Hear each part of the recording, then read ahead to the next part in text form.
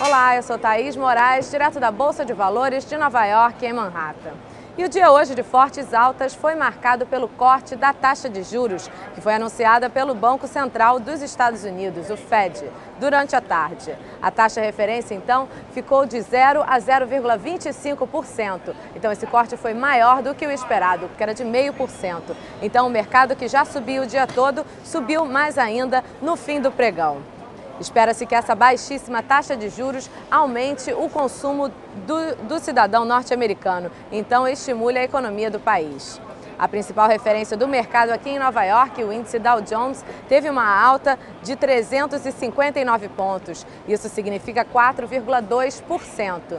E terminou o dia com 8.924 pontos. O índice tecnológico Nasdaq teve alta de 5,4% e o Standard Poor's 500 subiu 5,1%.